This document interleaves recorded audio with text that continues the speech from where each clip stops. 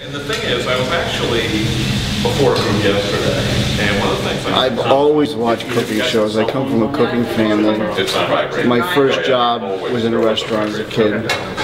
My aunt was actually, she used to run the Cape Cod Playhouse um, dinner portion of it. And JFK wanted her to cook at his inauguration, but she was a little bit uh, intimidated by it and didn't do it, so.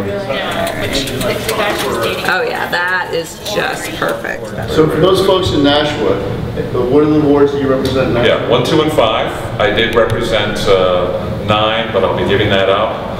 And then I'm going to be adding New Ipswich, Rindge, and Greenville. So just straight west. And I was told I now have, of all the state senators, the longest border with Massachusetts of any state senator.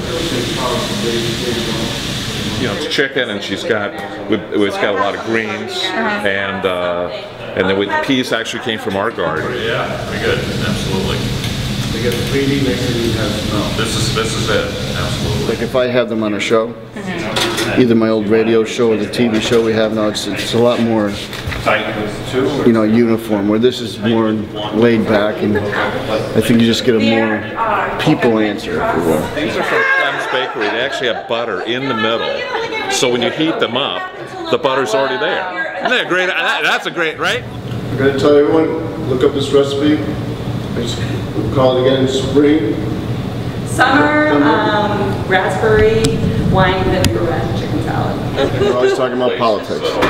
So I said, why not have local politicians come in and get a different side of them while we talk politics and do some cooking. And uh, it's been a hit. And when it's, you see them in a different light, like people couldn't believe the mayor was here, you know, cutting onions in her hand. Someone cut those peas really nice. Oh, they did. Back I actually had my first Democrat on last week, Peggy Gilmour, his opponent. Uh, I had to have a food taste tester though to make sure she didn't poison me. Just kidding.